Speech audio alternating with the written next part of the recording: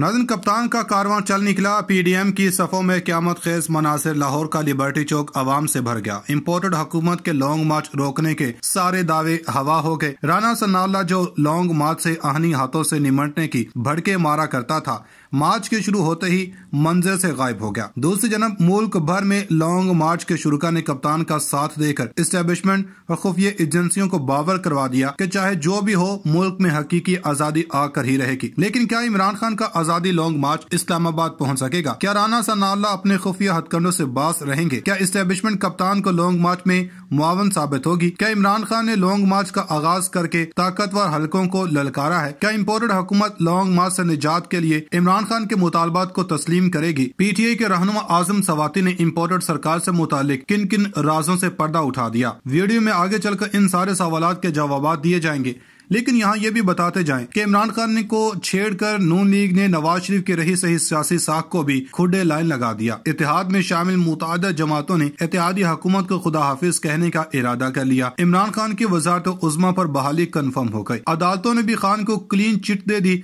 Establishment ने long march से मुतालिक अपना वादा पूरा कर दिया। नाजिल इमरान खान की क्यादत में लॉन्ग मार्च का आगाज़ हो गया, खिलाड़ी सड़कों पर निकल आए। राना सनावला बिफरे जमे गफीर को न संभाल सके। जैसे जैसे नवंबर करीब आ रहा है, सियासी हलकों की दिल की धड़कने बढ़ती ही जा रही हैं। इमरान खान लॉन्ग मार्च कर रहे हैं। नून लीग सबक वजी अजम नवाज़ शरीफ की मुबैना वतन वापसी का इंतज़ार कर रही है। पीपल्स पार्टी दूर बैठी तमाशा देख रही है और इस सारे सियासी लड़ाई में खुद को दूर रखे हुए है। जबकि पीडीएम में शामिल दीगर जमातें महँगाई से नाला होने के बावजूद इस हवाले से होने वाली आवामी बेचैनी देख कर चुप साधे हुए हैं। लेकिन क्या पीडीएम में शामिल जमातों की चुप आवाम के लिए मजीद मुश्किल लाएगी? क्या इमरान खान के दरीना मुतालबात को मानकर आम इंतबात का ऐलान किया जाएगा? क्या लॉन्ग मार्च के दौरान इमरान खान की जान को खतरा है? क्या हुकूमत की कांपे टांगने वाली है? लॉन्ग मार्च की अभी तक की सूरत ने शहबाज हुकूमत का सुकून गारत कर दिया। इम्पोर्टेड हुकूमत बोकलाहट का शिकार हो चुकी इस्लामाबाद को कंटेनर्स लगाकर बंद कर दिया। लॉन्ग मार्च के आगाज़ पर लिबर्टी चौक पर जश्न का समा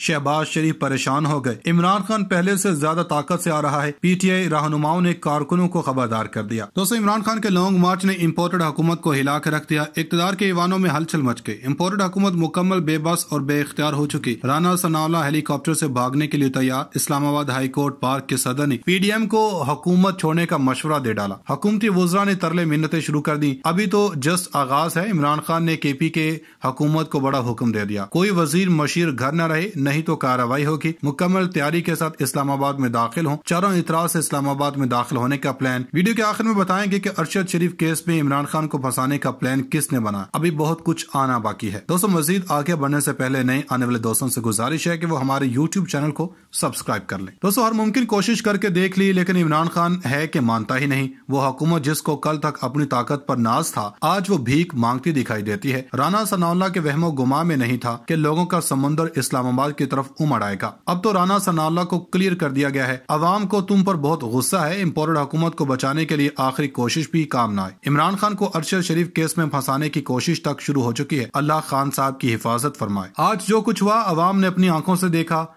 हुकूमती वजरा ने इतराफ कर लिया कि इनके पास कोई इख्तियार नहीं। वो बेबस है, एक तरफ़ इमरान खान के सामने, जबकि दूसरी तरफ़ किसी और के सामने। मैं नवाज़ शरीफ की बात नहीं कर रहा। दोस्तों, पाकिस्तान तरीके इंसाफ ने खैबर पख्तूनखा के वजरा, मशीरों, मुआवनीन, खसूसी और पार्टी के अरकान सुबह असम्बली को लॉन्ग मार्च में लाजमी शिरकत की हिदायत जारी कर दी है। गैर हाजिर अरकान के खिलाफ कार्रवाई की जाएगी। पाकिस्तान तरीके इंसाफ ने खैबर पख्तूनखा के वजरा, मशीरों, मुआवनीन, खसूसी और पार्टी के अरकान सुबह असम्बली को लॉन्ग मार्च में लाजमी शिरकत की हिदायत जारी करते हुए कहा कि गैर हाजिर अरकान के खिलाफ कार्रवाई अमल में लाई जाएगी। जराये ने बताया की पार्टी की जन्म ऐसी तमाम अरकान असम्बली, वजरा, मशीरों और मुआवनीन, खसूसी को कहा गया की लॉन्ग मार्च में कारकुनों की बड़ी तादाद के साथ शरीक हो, वरना इनके खिलाफ कार्रवाई की जाएगी। नाजन पीटीआई जराये ने बताया की खैबर पख्तूनखा के काफिलों को चार नवंबर को रवानगी की हिदायत कर दी गई जबकि मरकजी काफिला लाहौर ऐसी सात दिन में इस्लामाबाद पहुँचेगा। पिशावर ऐसी काफिले मोटरवे के ज़रिए इस्लामाबाद का रुख करेंगे। जाय के मुताबिक, लॉन्ग मार्च में शरीक अफराद की फहरिस्त के मुताबिक हाजिरियाँ लगाई जाएँगी। पार्टी के अरकान कौमी सूबाई असम्बली को ट्रांसपोर्ट और दीगर अखराज पर उठाने की हिदायत जारी की गई है। खैबर पख्तूनखा हुकूमत के तर्जमान बैरिस्टर मोहम्मद अली सैफ ने अपने एक वीडियो बयान में लॉन्ग मार्च के हवाले ऐसी बताया की तैयारियाँ जारी है। सूबे ऐसी लाखों अफराद इमरान खान के साथ सड़कों आरोप होंगे। नाजन बैरिस्टर सैफ का कहना था की राना सनाला अभी ऐसी पेनाडोल खाकर भागने की तैयारी करें। राना सनालो का मेरा मशवरा है की अपने लिए एक हेलीकॉप्टर का बंदोबस्त करके रखें। हमारे कारकुन इस्लामाबाद आए तो आपको भागने में आसानी होगी। पीटीआई के कारकुनान के सामने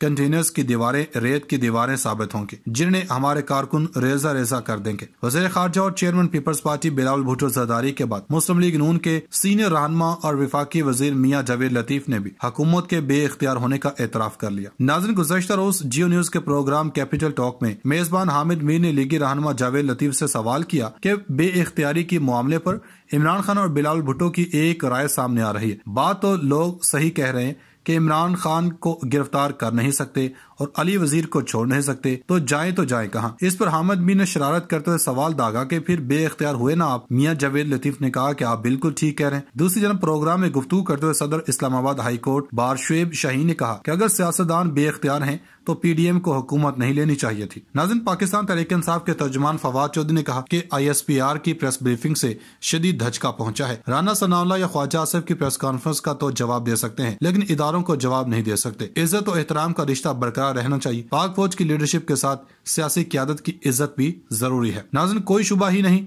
कि फौज की लीडरशिप का एहतराम बहुत अहम है।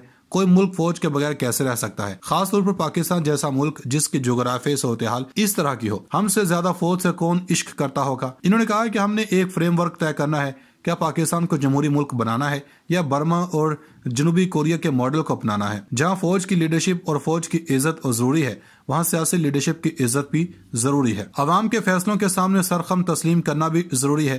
तरीके दम एतमाद के बाद पंजाब में अवाम ने तीन चौथाई से इलेक्शन जीते हैं। नजिन इमरान खान का कहना है की शहबाज शरीफ और इनके बेटे को सजा होने लगी थी, लेकिन वजी अजम बन गए। तफसीत के मुताबिक इमरान खान ने निजी टीवी चैनल 92 न्यूज़ को दिए गए इंटरव्यू में वजी अजम शहबाज शरीफ को शदीद तनकीद का निशाना बनाया इन्होंने कहा की शहबाज शरीफ और हमजा शहबाज के खिलाफ 16 अरब रुपए का एफआईए का केस और नैब में 8 अरब रुपए का टीटी का केस था। लेकिन ये बरी हो गए। शहबाज शरीफ वजी अजम बन गए। इनके वजी अजम बनने के बाद चार गवाह मर चुके। एफ़ आई ए का एक तफ्तीश कार मर चुका। किसी ने तहकीकात नहीं की कि इन सबको दिल का दौरा कैसे पड़ा? जबकि सागदार तहरीरी हल्फनामा देकर जाता है। कि मैं शरीफ खानदान के लिए मनी लॉन्ड्रिंग करता था। इस पर बीबीसी की डॉक्यूमेंट्री बनी। वो आज वज़ीर खजाना बना हुआ है। नाजिन इमरान खान ने डीजी आईएसपीआर और डीजी आईएसआई की प्रेस कॉन्फ्रेंस पर रद्दमल देते हुए कहा कि इदारों के सरबराह आकर प्रेस कॉन्फ्रेंस कर रहे हैं और साथ कह रहे हैं कि हम सियासत में नहीं है। कोई सिक्योरिटी का मसला हो, इस पर आकर आप बात करें। सियासी प्रेस कॉन्फ्रेंस कर रहे हैं। ऐसी चीज़ें कही गई कि अगर मैं जवाब देना शुरू कर दूँ तो मेरे मुल्क को नुकसान पहुंचेगा। इदारे का नुकसान होगा। अगर मैं अपना मुँह खोलना शुरू करूँ तो नुकसान तो मेरे मुल्क को ही होगा। मैं चाहता हूँ कि ये इनफादी लोग गलतियाँ कर रहे हैं, फौज का इदारा बचा रहे। मेरी तनकीद हमेशा तामीरी होती है, मैं चाहता हूँ पाक फौज का इमेज खराब ना हो, बहुत मोहतात होकर बोलता हूँ, कई दफ़ा इशारों से बात करता हूँ, कभी एक्स और वाई कह देता हूँ, और अब डर्टी हैरी कह देता हूँ। नाजिर लॉन्ग मार्च के हवाले से चेयरमैन तरीके इंसाफ ने कहा कि पाकिस्तान बदल चुका है, ये लॉन्ग मार्च पाकिस्तान की तमाम लॉन्ग मार्च से मुख्तलिफ़ होगा। हमारा प्लान है कि जुमेरात की रात को हम रावलपिंडी पहुँचेंगे। इसके बाद देखेंगे कि इस्लामाबाद में चारों तरफ़ से अवाम का समुद्र आएगा। कानून नहीं तोड़ेंगे कौम अपना हक मांगेगी। कहा गया है कि खून होगा और पता नहीं क्या होगा। जिन जलसों में फैमिलीज़ आती हैं, वो क्या खून करने जाती हैं? नज़र पाकिस्तान में आजकल सियासी पारा बहुत हाई हो चुका है। लॉन्ग मार्च और अरशद शरीफ की शहादत ने इदारों को सियासी जमात को आमने सामने ला खड़ा कर दिया। हमें इस सूरत हाल से निकलना होगा। मजीद ऐसी वीडियो देखने के लिए हमारा यूट्यूब चैनल सब्सक्राइब करें। शुक्रिया।